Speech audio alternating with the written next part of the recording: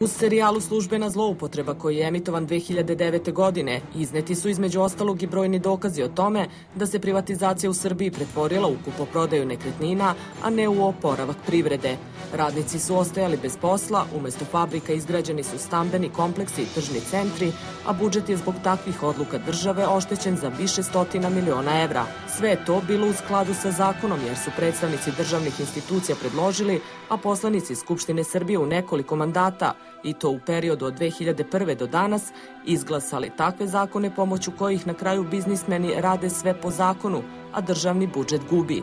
Budžet je oštećen i zbog toga što su, na primer, pojedinci kupovali propale fabrike, preduzeće ili štamparije po minimalnim cenama, jer u cenu nije uračunato građevinsko zemljište, koje zapravo najviše vredi.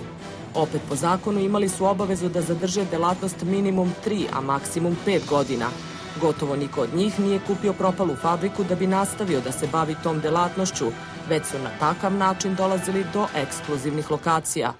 Umeđu vremenu su nadležne institucije usvajale izmene generalnog i detaljnog urbanističkog plana, što je omogućilo da se industrijsko zemljište pretvara u komercijalno i da umesto fabrika budu izgrađeni stanovi, tržni i poslovni centri. Prema istraživanju insajdera još pre tri godine su izneti brojni dokazi o tome da čak oko 300 hektara gradskog građevinskog zemljišta u Beogradu iz različitih razloga nije išlo na licitaciju.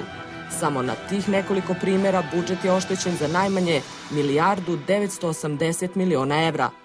Posle serijala Službena zloupotreba izmenjen je zakon o planiranju izgradnje, kojim retroaktivno treba da se naplati ono što je praktično poklonjeno. Najveći investitori i vlasnici kvadrata nekretnina, zemljišta i preduzeća u Srbiji danas su Miroslav Mišković, vlasnik Delta, Petar Matić, vlasnik MPC-a, Radomir Baja Živanić, vlasnik Verana, Đorđe Nicović, Milan Beko i Milan Janković, poznatiji kao Filip Ceptar.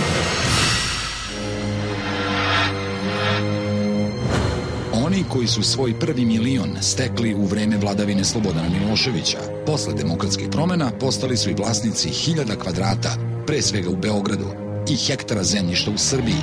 Iako žive i rade u Srbiji, većina njih u ovoj zemlji praktično ima status stranog investitora, jer uglavnom sve kupuju krijući se iza svojih raznih offshore kompanija. Na taj način ni poreklo njihovog kapitala nije poznato.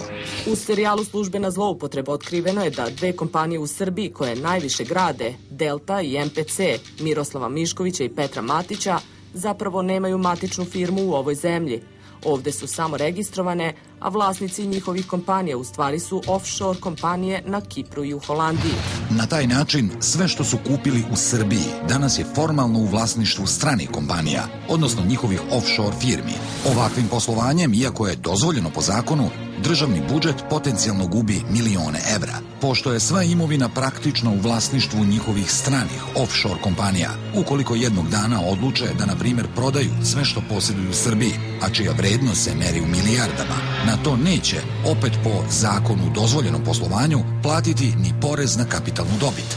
U lancu odgovorni su pre svega oni koji su donosili odluke koje su pojedincima omogućile da praktično legalno uvećaju svoje bogatstvo na štetu budžeta i svih građana Srbije, što znači predstavnici svih stranaka koje su se smenjivale na vlasti od 2000. godine, ali i stranaka koje su bile na vlasti 90-ih kada su nastali današnji biznismeni i stekli svoj prvi milion. Brojni dokazi o svemu tome izneti su u serijalu koji je emitovan još 2009. godine.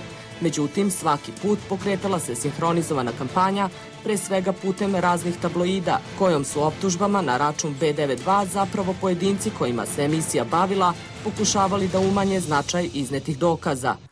Kada smo se bavili srpskim biznismenima i svim političkim strankama, bili smo optuženi da radimo u korist ruskih tajkuna – A sada, kada smo se bavili Kosovom, odnosno patriotskom pljačkom, ponovo su novinari P92 optuženi da su Soroševi plaćenici.